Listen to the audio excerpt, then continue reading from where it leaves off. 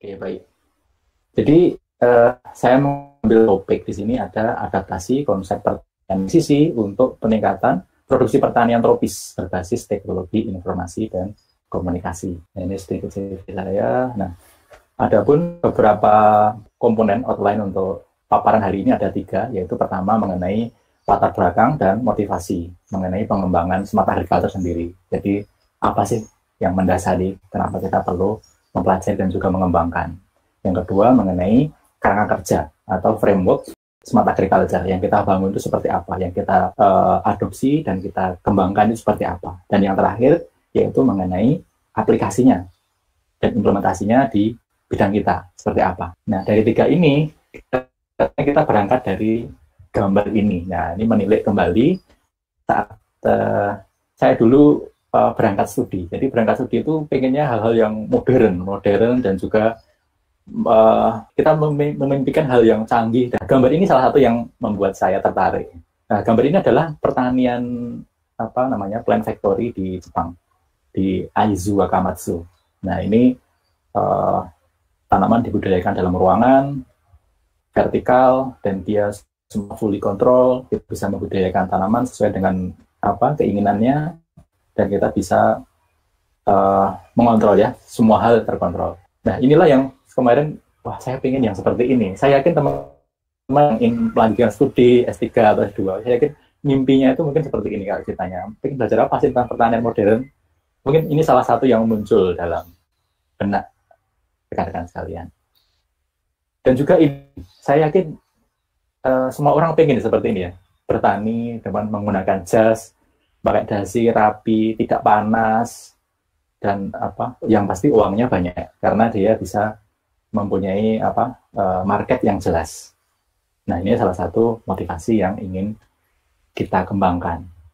Nah pertanyaannya ini apakah Indonesia seperti apa pertanian Indonesia? Apakah juga akan mengarah ke sana? Ataukah kita membuat yang modern deskripsi kita sendiri? Maksudnya kita mendefine pertanian modern kita sendiri seperti apa. Nah, saya kira kita bisa melihat kondisi kita seperti ini.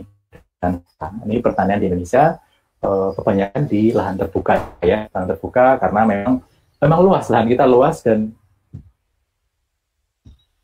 kita banyak sumber daya. Nah ini beberapa fakta-fakta, coba kita lihat. Nah, Indonesia adalah negara terluas dengan area 1,9 juta dengan populasi tertinggi di Asia, Asia Tenggara. Nah ini beberapa data fakta, 200 juta lahan dengan 25 persen yaitu pada bidang pertanian dan menyumbang sekitar 15,4 persen total GDP atau Gross Domestic Product. Nah ini dari sini kita bisa peroleh gambaran bahwa sektor pertanian itu yang termasuk sektor yang penting di bidang uh, untuk mensuplai kebutuhan nasional. Nah ini peluang dan tantangan, peluang dan tantangan pertanian tropis di Indonesia. Coba kita lihat. Nah, peluangnya yang pertama ini adalah tropical climate, yaitu ketersediaan sinar matahari sepanjang tahun. Tidak dipungkiri bahwa negara empat musim seperti Jepang, Korea, dan negara di Eropa itu tidak bisa membudidayakan tanaman secara terus-menerus dibandingkan dengan kita yang kita memiliki uh, apa kondisi itu banyak di di kiri apa ya. Nah, yang kedua itu tenaga kerja, tenaga kerja melimpah. Nah, sekarang banyak pengangguran dan juga pengangguran mungkin ya belum teralokasi. Nah, itu bagaimana kita bisa mengarahkan hal tersebut untuk bisa memberikan manfaat, khususnya dalam bidang pertanian. Nah, tantangannya ini, terbatasnya sumber daya alam, ini sama kita tahu, dan terbatasnya peralatan teknologi dan juga modal. Nah ini kebanyakan memang tidak uh, tidak sinkron antara ya kita punya lahan luas, modalnya kurang, teknologinya pun juga kurang. Dan terakhir yaitu batasnya pengetahuan dan adopsi teknologi baru. Nah teknologi baru ini gunanya untuk tadi bagaimana menambah, men, meningkatkan value atau nilai dari produk pertanian tersebut. Nah khususnya untuk untuk yang saya concern di sini untuk produksi on farm karena memang di faktor produk inilah yang proses inilah yang sebenarnya menentukan kualitas. Yang pasca atau off farm itu hanya mempertahankan kualitas produk.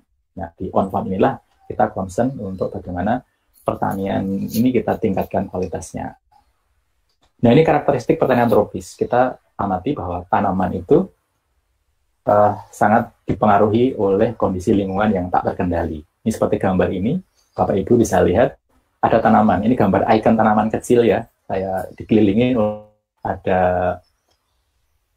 misalnya matahari, angin, kelembapan, hujan, dan lain-lainnya. Nah, ini ini namanya farming management, yaitu bagaimana kita mengelola tanaman itu. Nah, bagaimana mengelola tanaman ini, misalkan kapan nanam, milih bibitnya seperti apa, kapan memberikan air, kapan menyiangi, panen, itu sebenarnya orang tua kita atau leluhur kita. Itu sudah memahami ini. Maka kita seperti namanya farmer wisdom atau kearifan lokal petani. Nah, ini merupakan uh, modal awal yang sangat berharga mungkin di antara kita mungkin saya yakin uh, saya pribadi saya banyak belajar dari misalkan saya sering nanya mbah mbah saya mbah saya petani bapak saya juga petani saya nanya kira-kira kapan dalam menentukan uh, saat panen bibitnya apa itu banyak yang di antara jawabannya itu uh, mbah saya itu seperti ini gitu jadi turun temurun ini wisdom ini turun temurun dan ini merupakan biasanya bahasa tutur dan tidak terdokumentasi dengan baik. Makanya ini adalah suatu knowledge yang sangat berharga sekali. Nah, misalkan kayak misalkan kondisi sekarang, musim hujan, musim kemarau, itu juga turun temurun. Walaupun sekarang sudah ada kita kenal ada kalender tanam atau katam dari Keptan. Namun pemanfaatannya mungkin masih perlu di force lagi atau dikenalkan lagi ke uh, petani lokal bagaimana memanfaatkan dan mengimplementasikan untuk budidaya pertaniannya.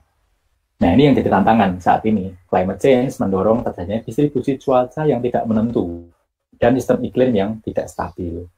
Sekarang saja kita tidak bisa bilang ini musim apa. Hari ini musim kemarau. Namun kemarin sore itu hujan.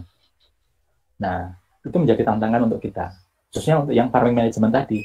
Bagaimana sih kearifan tadi, sistem farming management itu beradaptasi dengan penambahan ini, adanya climate change ini.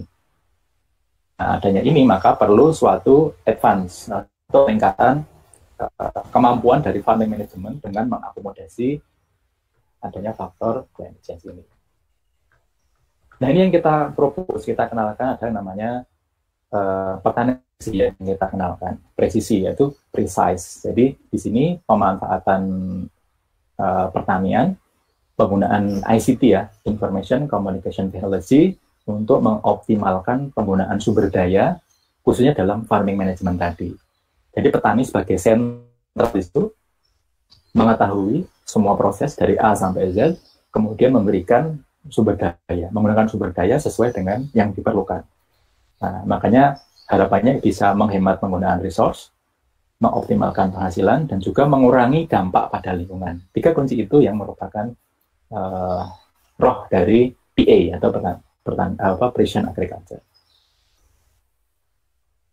Nah, coba kita lihat pertanian presisi ini bukan hal yang baru kan ya. Sudah mulai dikenalkan dari dulu dan kita ada dua kendala yang sudah dilaporkan. Ini mengutip uh, penelitian Bu Sari tahun 2012. Bu Sari ini alumni S3 di Departemen Teknik Pertanian dan Biosistem juga. Nah, ini ada dua macam yaitu dari agriculture manajemennya dari sisi rendahnya modal, masih menggunakan konvensional, juga limited of knowledge. Dan yang faktor kedua itu faktor teknologinya. Teknologinya itu masih mahal. Jadi saya ingat kemarin saat uh, saya studi S3 itu di Jepang itu, sensor-sensornya itu mahal. Seperti yang dipakai Bu Evi ini, mahal sekali. Itu kalau pun kita punya, itu harus bisa memanfaatkan itu dengan baik. Supaya bisa PIP dan juga bisa menghidupi alat itu sendiri. Kalau itu untuk di manajemen alsin seperti itu. Nah, faktor teknologi yang mahal ini itu banyak di researcher peneliti itu mencari alternatif ya, menarik sehingga dalam penelitiannya uh, banyak diterapkan dalam eksperimen dan juga masih dalam uh, ranah lab ya, belum sampai diterapkan pada masyarakat luas. Nah, dari dua ini kita ingin menyusun sebuah roadmap seperti apa adaptasinya. Nah, kita formulasikan untuk adaptasi konsep pertanian presisi itu di Indonesia itu melalui empat tahapan ini. Yang pertama yaitu kita menghubungkan ya link linkage the wisdom farmer and the technology platform. Yang kita sebutkan di awal bahwa petani itu sudah mempunyai kearifan lokal ya, kearifan lokal. Dan kita gunakan teknologi itu kita kenalkan dan kita kita hubungkan itu, kita kenalkan itu. Nah, yang kedua, teknologinya itu, teknologi yang baru tersebut sebagai pelengkap, bukan sebagai pengganti. Jadi, di situ, ini masih sebagai ini ya, yang core-nya ya, yang sebagai main, yang utamanya. Teknologinya sebagai pelengkap. Yang ketiga, akhirnya, uh, seiring berjalannya waktu, akhirnya ada improvement farmer, farmer management skill through data science and accumulated knowledge. Ya, manusia itu secara naluriah itu selalu mempelajari hal yang baru dan dari hal yang datang yang baru itu akhirnya membangun suatu knowledge yang uh, akan dimanfaatkan untuk menghadapi suatu permasalahan-permasalahan baru. Dan yang terakhir akhirnya uh, peningkatan knowledge tersebut akan mendorong bagaimana adopsi teknologi pertanian modern. Nah dari empat inilah yang ingin kita susun, kita kenalkan dan kita uh, buat roadmapnya.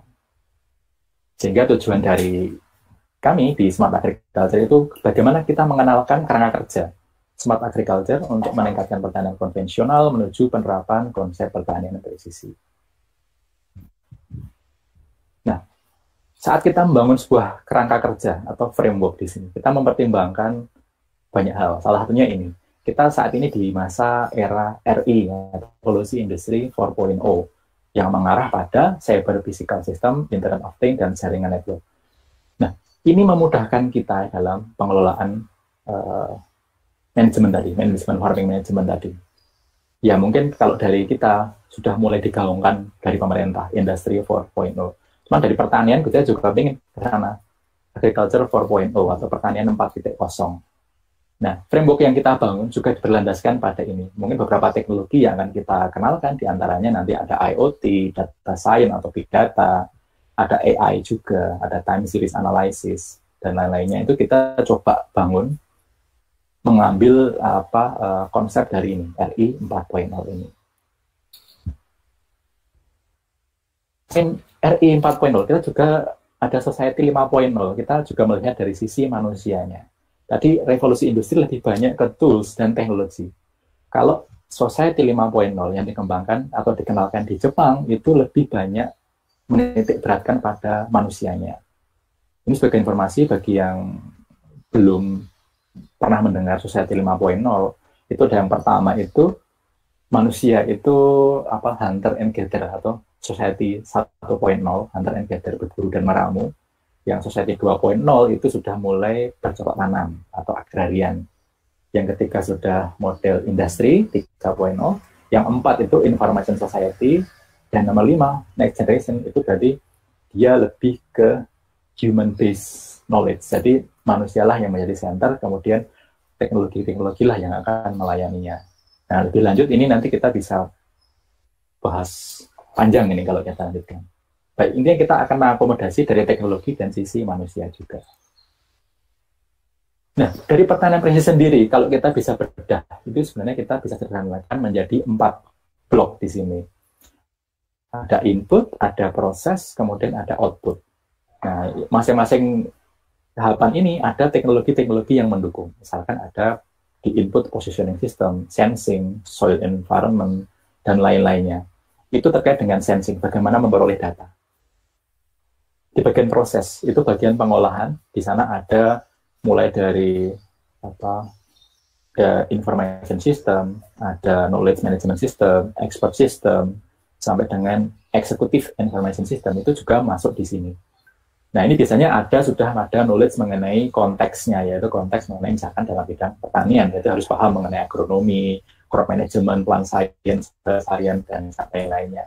Kemudian dari bagian output itu ada bagaimana kita mengendalikan. Kalau lingkungan yang dikendalikan ya ya akuator ya, akuator kalau pemupukan untuk presisi ada VRT, ada VRA, ada robotik dan kawan-kawannya. Dan dari ketiganya tadi ada yang paling bawah itu yang menurut saya juga tidak kalah penting yaitu bagaimana kita mengelola pengetahuan atau knowledge management. Kenapa penting? Karena dalam penerapan teknologi modern itu yang paling urgent adalah manusia. Bagaimana manusia itu mempelajari. Baik itu yang sederhana sampai dengan hal yang kompleks. Nah, kalau namanya di dukungan dari knowledge management, saya kira untuk sustain, untuk berkelanjutan, ini sangat penting sekali.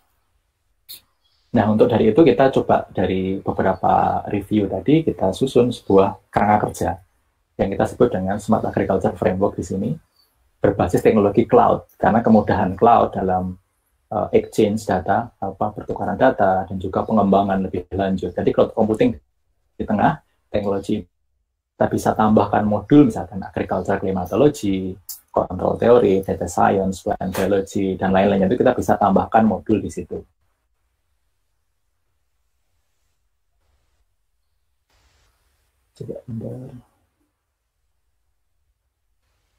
Oke.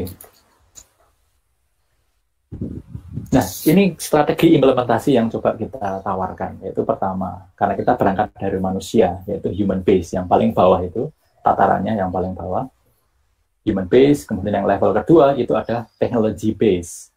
Yang ketiga ada knowledge base. Yang di bagian human human base itu ada humanware di situ atau manusianya yang coba mengadopsi sesuatu yang baru. Misalkan contohnya pertanian 4.0. Jadi walaupun dia belum punya teknologi, tapi dia sudah punya konsep optimasi, bagaimana konsep penggunaan sumber daya yang optimum, bagaimana memaksimalkan output itu sudah kita bisa sebut ini uh, adopsi teknologi baru walaupun memang belum fully teknologi. Nah yang kedua ini menggunakan teknologi dia sudah menggunakan hardware, software dan juga pemahaman mengenai pertanian modern. Nah yang ketiga itu knowledge base itu di mana pengorganisasian dari informasi yang diperoleh penggunaan data informasi itu sudah melikupi semua aktivitas baik itu individu maupun suatu organisasi dalam suatu uh, wilayah. Nah, itu sudah sampai pada knowledge base. Nah, knowledge base itu ada yang individual, ada juga yang organisasional. Nah, ini semakin ke keluar ini semakin berharga, semakin penting. Nah, kalau kita melihat, kita pilih kondisi sekarang, itu kita bisa petakan di apa dot yang warna biru itu. Kita saat ini sudah beberapa sudah mengenal penggunaan sensor dan juga hardware. Jadi sudah levelnya sudah di atas teknologi dikit. Nah, itu sebagian yang kita amati. Sebagian masih masih human base. Cuman kalaupun kita baru berangkat dari human base itu tidak masalah, kan punya tadi pemahaman. Nah, Smart Agriculture Framework sendiri kita susun dalam empat. Ini kita akan sajikan beberapa contoh penelitian yang mendukung Smart Agriculture Framework. Pertama mengenai environmental monitoring, assessment, and control. Jadi terkait dengan kontrol lingkungan, pengukuran, assessment, dan juga kontrol. Jadi input proses outputnya itu kita kumpulkan dalam satu ini kelompok ini. Yang kedua terkait dengan plan monitoring and assessment. Jadi terkait dengan tanamannya ya, tanamannya. Bagaimana kita menilai kondisi tanaman dan juga pengamatannya. Dan yang ketiga tentang peralatannya. Peralatannya ini kebetulan yang kita amati di mesin pertanian dan juga uh, mungkin peralatan yang ada di greenhouse atau plant factory. Yang terakhir ada penelitian mengenai knowledge management, yaitu manajemen pengetahuan. Baik Bapak Ibu sekalian, coba kita lihat satu persatu. Ini saya nggak akan detail hanya mengulas hasil penelitian di lab kami, khususnya di Smart Agriculture. Semoga bisa memberikan gambaran setidaknya seperti apa sih Smart Agriculture yang kita coba adopsi dan ada adaptasi. Nah, ini yang paling basic. Paling basic ini adalah kita merancang sebuah framework yaitu uh, untuk pengamatan dan juga kontrol berbasis cloud. Namanya kita sebut dengan uh, Agri-AI System. Ini menggabungkan antara lokal dan global subsystem untuk proses monitoring dan kontrol environment. Nah, ini uh, contoh penerapannya banyak sekali. Mungkin ke depan slide berikutnya mungkin lebih banyak ke penerapannya. Ini contohnya user interface saat di cloud dan juga skematik yang dia menggunakan global dan local management subsystem. Contoh penerapannya ini adalah untuk AWS atau Automatic Weather Station. Nah, untuk akses karena kita di cloud, jadi kita punya fleksibilitas kita dalam melakukan pengolahan data asalkan data itu semua terkirim ke cloud, tinggal kita membuat sebuah modelnya. Ini contoh yang kita tanamkan di sini adalah bagaimana mengukur etanol atau reference evapotranspiration menggunakan model Penman Mounted FAO 56. Di sini kita menggunakan input suhu, kelembapan, dan net solar radiasi. Kita bisa mengestimasi uh, ETO per jam.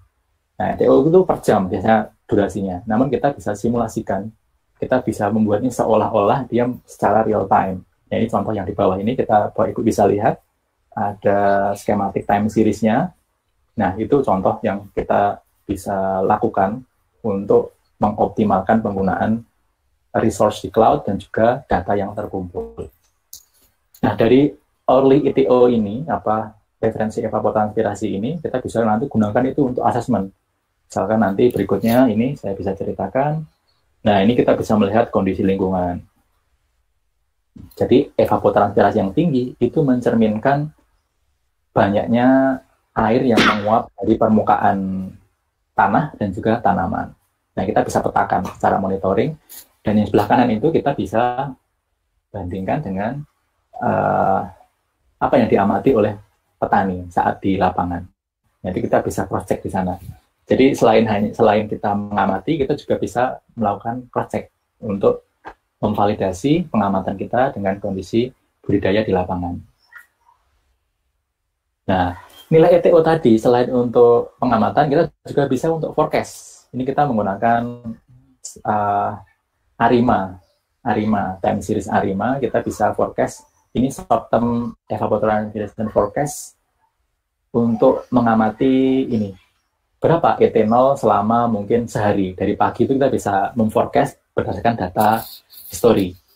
Nah ini gunanya apa? Untuk manajemen. Jadi petani nanti bisa lebih care, aware. Oh hari ini kemungkinan seperti ini. Nah ini bisa menjadikan salah satu masukan untuk uh, day to day uh, apa aplikasi day to day-nya di lapangan. Nah, untuk kontrol kita juga bisa manfaatkan ini untuk irigasi contohnya ya, irigasi. Jadi jadi yang klimatologi tadi berbasis evapotranspirasi, kita bisa gabungkan dengan soil moisture content. Soil moisture content itu sensor yang ditanam di dalam tanah. Nah, biasanya menggunakan itu yang orang sering gunakan. Nah, kita bisa hybrid, kita gabungkan itu. Ini kebetulan menggunakan fuzzy, ini contohnya eksperimen untuk penghematan air. Bagaimana fase tersebut bisa mengurangi penggunaan air. Nah, ini kita bisa peroleh dari hasil penelitian ini membuktikan bahwa penggunaan fase lebih hemat dengan menggunakan uh, aktivasi yang lebih sing itu kita tentukan kapan dia nyala, kapan dia mati. Tapi yang ini kita bisa gunakan dua input yaitu ET dan juga soil. Nah, ini framework jadi kita juga bisa manfaatkan. Ini untuk LoRa ya, kita untuk daerah terpencil. Karena untuk daerah tropis, di daerah yang rural, daerah terpencil, itu kita bisa manfaatkan ini teknologi LoRa. Ini kita juga kembangkan untuk skripsi.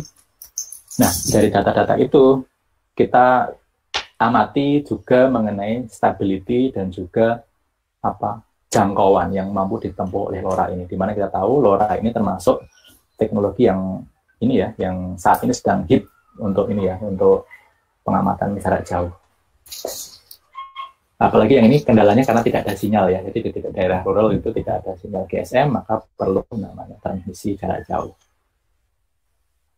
Nah ini contoh lagi penerapan kontrol itu dalam kumbung jamur berbasis mesh sensor network. Nah ini kenapa menggunakan mesh? Jadi mesh itu jaringan sensor yang tidak perlu dideklar siapa koordinatornya oh, sorry declare koordinatornya kemudian anak-anaknya itu kita bisa tempatkan di masing-masing titik tanpa perlu menggunakan konfigurasi misalkan uh, ya kendala di sensor network itu pertama kalau kita tanpa apa menggunakan kabel adalah instalasi dan kedua adalah proses uh, konfigurasi. Nah, penggunaan mesh ini mengurangi kesulitan tersebut. Instalasi menggunakan wireless, langsung install, kemudian dari konfigurasi penggunaan mesh ini dia langsung terregister, dia lah semacam komunitas itu. Nah, ini memudahkan juga untuk apa nanti untuk pengamatan yang areanya itu luas dan dia butuh kepadatan sensor. Nah, ini kemarin kita coba kembangkan untuk kumbung jamur, hasilnya lumayan mampu untuk mengontrol apa monitoring dan juga kontrol. Nah ini terakhir di monitoring dan kontrol kita untuk ini irigasi. Di irigasi ini, ini penelitian bersama dengan Prof. Sigit Supatno Arif dan juga Bu Dr. Mutiningrum. Ini kita amati untuk hujan efektif. Jadi ada AWLR (Automatic Water Level Recorder) untuk pengamatan di apa jaringan irigasi dan juga untuk intake outlet di lahan pengamatan hujan efektif. Nah, itu ada lisimeter dan juga automatic weather station. Ini menggunakan framework yang sama kita gunakan tadi yang dijelaskan di awal. Dan yang terakhir ini yang advance, kita coba kenalkan, walaupun nanti kita tidak akan mengenalkan plan factory di dalam dunia ini, tapi sebenarnya kita mempelajari bahwa dalam plan kita bisa manfaatkan teknologi tersebut. Kita juga kenalkan penggunaan plan untuk budidaya pertanian. Oh iya, ini yang menarik menurut saya hari ini baru pelajari sekitar tahun terakhir. Jadi mungkin Bapak Ibu pernah mendengar uh, suara jangkrik itu punya makna tertentu ya, punya makna, punya makna terhadap misalkan dalam lahan pertanian. Itu kalau dulu saya ingat almarhum Pak Sunarto Gunadi itu bercerita bahwa kalau ada serangan hama wereng atau apa itu biasanya ada tanda-tanda ya, tanda-tanda dari tanda alam maupun suhu kelembapan lingkungan. Nah ini setelah diskusi dengan dosen dari pertanian, kita punya info bahwa suara jangkrik itu juga punya bisa mengindikasikan kondisi tertentu. Makanya kita juga susun ini suatu peralatan alat monitoring bioakustik yang mana ini merekam suara kemudian dikirim ke cloud dan kita analisis suaranya, soundnya dan kita bandingkan dengan treatment yang ada di atau dataset yang dimiliki oleh uh, bagian apa, hama penyakit tanaman di pertanian. Nah itu kita coba kembangkan bersama-sama. Ini ada namanya Bioacoustic Research Group. Nah, ini coba kita kembangkan di sini. Nah ini masih masih baru setahun dua tahun, jadi masih kita belum punya banyak hal yang ingin kita ceritakan. Nah ini untuk tanaman, semoga masih ini. Untuk tanaman ini lebih ke ada jam biologis tanaman ini. Bapak Ibu sekalian mungkin pernah mendengar istilah circadian clock atau jam biologis atau circadian cycle dari siklus circadian itu dikelola atau di maintain oleh namanya jam biologis yang dia mengelola semua gunakan alternatif saya uh, ulangi lagi jadi untuk alternatif pengamatan clock tadi apa jam biologis tadi kita gunakan gerakan daun atau leaf motion ini sudah diamati sejak tahun 1729 oleh D. Mairan Nah ini seperti ini dulu. Ini bagian yang sebelah kiri kita bisa amati ini namanya aktograf. Jadi daun itu dikait menggunakan eh, benang kemudian dihubungkan dengan roll semacam seismograf itu. Kalau tadi malam merasakan gempa Bapak Ibu, nah ini sama yang naik turun itu. Nah itu akhirnya bisa perolehlah pola yang nomor dua yang bawah itu naik turun naik turun. Nah, untuk yang modern itu bisa menggunakan namanya image processing, yaitu menggunakan computer vision, kita capture secara rutin atau menggunakan time lapse, kemudian kita bisa ekstrak gambarnya itu dengan mencari vektor yang dominan. Nah, akhirnya kita peroleh uh, naik turun seperti itu. Dan terakhir dari data yang sama, dari nomor 2 dan 2 yang kanan dan kiri, kita bisa estimasi periode fase, dan juga amplitude. Nah, inilah yang mendasari bagaimana kuantifikasi dari plan motion. Nah, seperti ini. Ini time lapse capture, kemudian ada motion tracking, ada sparse optical flow, kemudian ada dense optical flow yang sebelah kanan kita lihat. Dari itu kita bisa kuantifikasi. Nah, mungkin Bapak Ibu sekalian mungkin belum bagi yang belum pernah melihat optical flow untuk uh, plan motion seperti apa atau tanaman bergerak itu kita seperti apa sih? Nah, ini kita coba lihat videonya seperti ini. Nah, coba. Nah, itu tanaman bergerak, kemudian ada panah-panah itu, itu menunjukkan arah gerakan dari titik satu ke titik uh, berikutnya. Jadi before after kemudian kita bisa buat panah apa vektornya itu untuk kita bisa kuantifikasi gerakannya. Nah, dari sinilah sebenarnya kita bisa memperoleh menyusun sebuah peralatan sederhana yang namanya kita plan motion monitoring system. Jadi selain kita amati gerakan tanamannya dari atas dan samping, kita juga amati suhu dan kelembapan. Karena uh, itu dipengaruhi oleh dua hal, yaitu cahaya matahari, kemudian yang kedua yaitu kondisi lingkungan. Nah, itu coba kita amati dan kita gabungkan dengan tadi ya smart agriculture framework tadi dalam tempat yang sama untuk analisisnya. Nah ini kalau lihat dari atas sama samping ini coba kita lihat Kalau dari atas ini tanamannya cabai, Bapak Ibu. Nah, dari sini kita bisa kuantifikasi gerakannya. Oh, ternyata aktif sekali yang dilihat dari ini ya. Kalau dulu profesor saya bilangnya itu mungkin tanamannya happy, gitu. senang, gitu. makanya dia berdansa gitu. Makanya dalam setiap kali presentasi beliau selalu menyebutnya dancing plant gitu, tanaman yang menari. Nah ini menjadi hal yang menarik. Nah ini hasil kuantifikasinya kita bisa bandingkan 12 jam, 16 jam, kita bisa amati. Nah ini selanjutnya uh, untuk lebih detail nanti kita bisa bahas lebih lanjut. Nah ini kita bisa lihat periodenya, frekuensi, dan juga amplitudo yang kita nanti akan confirm dengan kondisi tanaman yang kita set. Nah, kita juga kembangkan untuk plant growth. Kalau tadi gerakan tanaman, kalau ini pertumbuhan tanaman. Kita menggunakan uh, computer vision, menggunakan kamera stereo untuk merekonstruksi uh, sebuah objek juga dan juga mengestimasi jarak jarak tanaman dari kamera menuju ke titik tertinggi tanaman. Nah, ini kemarin sudah kita kenalkan. Saya cepat aja ini, kemudian ini ada autonomous, ini agriculture machinery. Nah, di bagian ini kita coba agak berbeda, kita shift ke bagian mesin.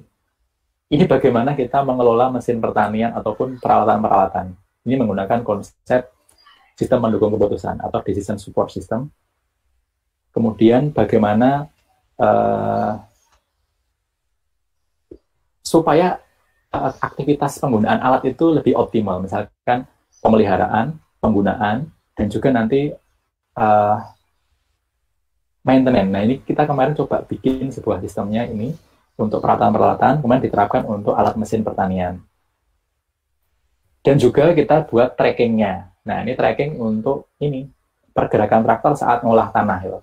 Kadang operator itu untuk menilai apakah operator itu apa overlappingnya untuk pengolahan tanah itu seperti apa. Ini kita juga coba kembangkan seperti ini. Salah satunya untuk autonomous ke depan. Cuma saat ini lebih ke tracking ke evaluasi pengolahan tanah. Ini menggunakan GPS sederhana, kemudian kita bisa kuantifikasi gerakannya, kemudian kita bisa evaluasi sejauh apa efektivitas pengolahan tanahnya. Nah, terakhir, ya ini knowledge management. Yang tadi disinggung di awal, bahwa bagaimana pengetahuan itu menjadi penting. Kita mengetahui ada piramida di IKW, ada data, information, knowledge, and wisdom. Nah, tadi kalau bagaimana sistem informasi itu mengelola data menjadi informasi. Nah, kalau knowledge management itu mengelola dari data, informasi menjadi sebuah knowledge, jadi pengetahuan. Nah, ini kita coba kembangkan namanya Center of Knowledge di sini di mana center of knowledge ini berisi semua pengetahuan-pengetahuan apa uh, best practice ataupun fail story, success story penggunaan uh, pertanian presisi. Selain itu juga beberapa kategori lain kita kenalkan di sini. Contohnya yang kita nanti depan slide yang selanjutnya adalah agrotechno edupak.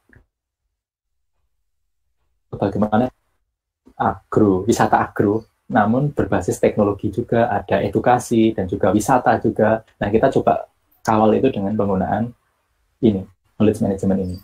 Nah, yang jadi kendala adalah tidak semua petani ataupun user itu mampu menggunakan sistem ini. Nah, ini pasti akan jadi ada gap ini, technological gap. Makanya ini kita coba kembangkan, manfaatkan ada namanya youth farmer community atau taruna tani yang akan membantu bagaimana men-sharing knowledge itu dan juga memberikan masukan untuk input dari center of knowledge tersebut.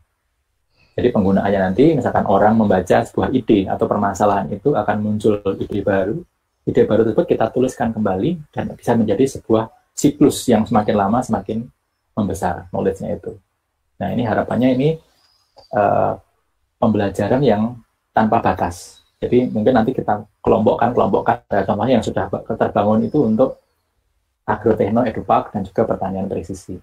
Selengkapnya nanti kita bisa lihat lebih detail di portalnya lang secara langsung.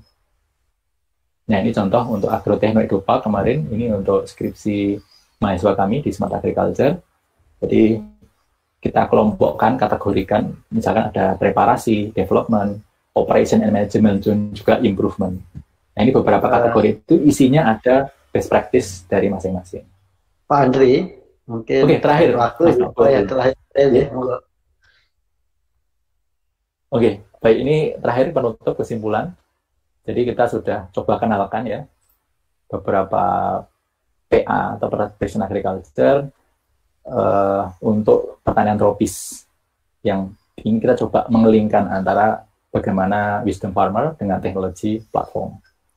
Dan yang kedua ada ini bahwa teknologi itu sebatas teknologi kalau tidak ada orang yang menjalankan. Jadi kita coba kenalkan teknologi sekaligus bagaimana support orangnya untuk bisa mengadopsi tersebut.